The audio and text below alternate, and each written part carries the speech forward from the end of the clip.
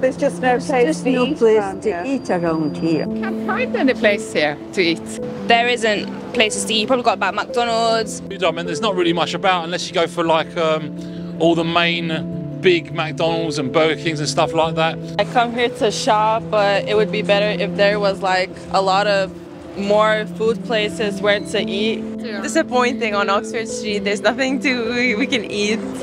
Visiting one of the most famous streets in London, and guess what? There's nowhere to eat. the new generation. They need something that they can come together and feel not overpriced, fair, and not constantly commercialized by all the other big brands. Things missing from Oxford Street are foods, uh, places where we can just kind of pull up, grab something to eat. There's no place to go, so I need to always go out of this uh, beautiful street. So. more diversified food and different kind of food that can bring people together. Uh, so it'd be good to have something local to here uh, where I work five days a week.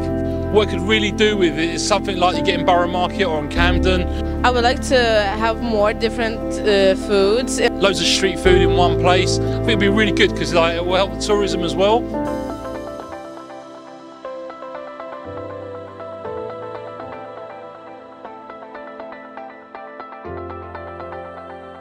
It's amazing being here, and uh, we really like the street food, and uh, the ambience is amazing. And uh, it's quite a pity we don't have this in uh, central London.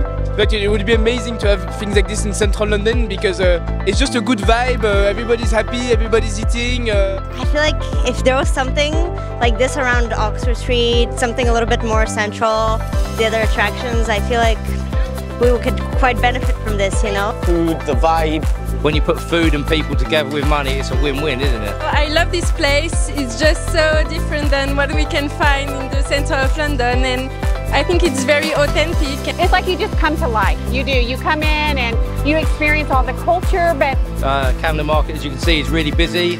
So much choice, loads of different cultures and foods. and it's a shame that you don't have this in central London. It's street food, and it's really delicious, and it's a shame that it isn't in central London.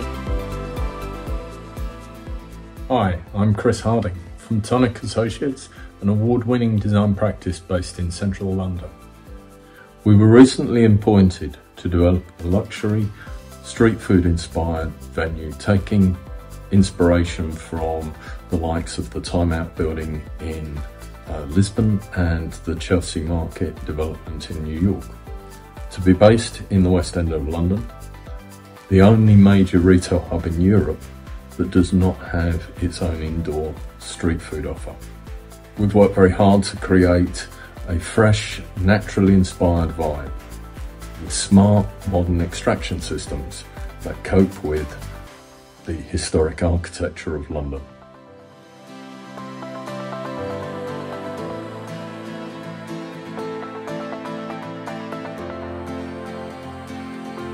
That sounds well. That sounds good. That would sound wonderful. Just let me know when it's opening.